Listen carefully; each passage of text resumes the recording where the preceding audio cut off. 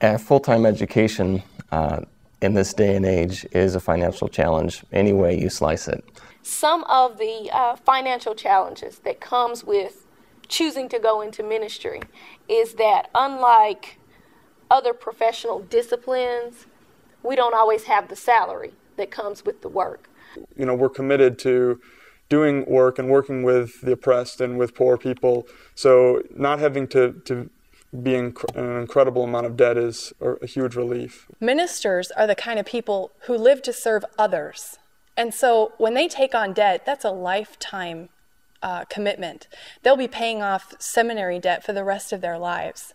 And we're asking people to give their lives in service to the community and the world with a burden on their shoulders. We have had to make the choice of uh, taking on student loans um, which is a very conscious choice on the part of our of our family. But it's worth it because this is a trajectory that we know that we are called to, and that we will be using this education for the rest of our lives to come. Investing in the education, investing in vocation, investing in the future of the church if we want to have bold leaders in the world and in our churches, then we have to make theological education a priority.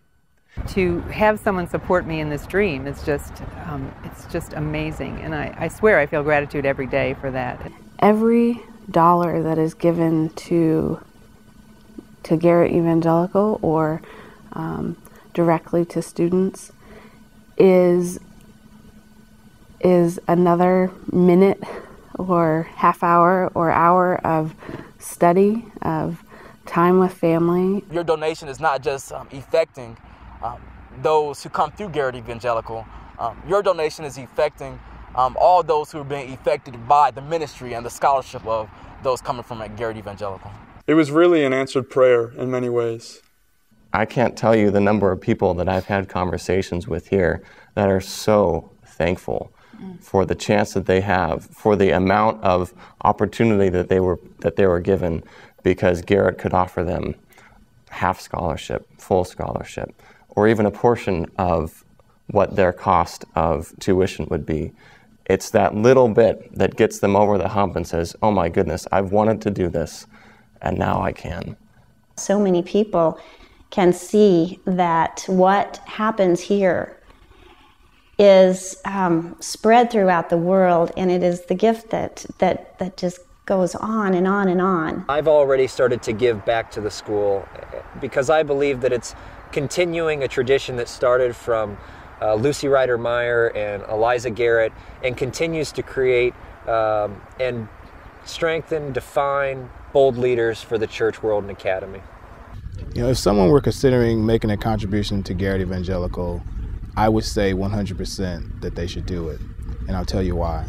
Because there are many students like myself who are academically prepared, but oftentimes are a little short on resources to attend seminary. We need your support. Um, there is no way that I would be able to be here if it were not for people people's generous um, support financially and otherwise to Garrett Evangelical. The returns for this investment are unending, they are infinite. Uh, they will go to the ends of the earth. It's just the most important thing someone can do. If you're considering giving to a, a leadership scholarship fund, I would really urge you to do so because there are so many stories like mine. To invest in a student who is committed to to committing their life to the work of the church and to the work of, of, of Jesus Christ um, would be giving a gift that that cannot be matched by any other person.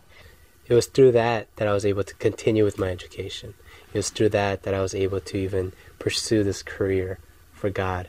Uh, so I would encourage them not to only give, uh, but when giving, to know for sure that it's being used for people who need it. It is a declaration that says the leaders of the church of today the leaders of the church um, of tomorrow, just as in the past, um, need to be nurtured. They need to be supported.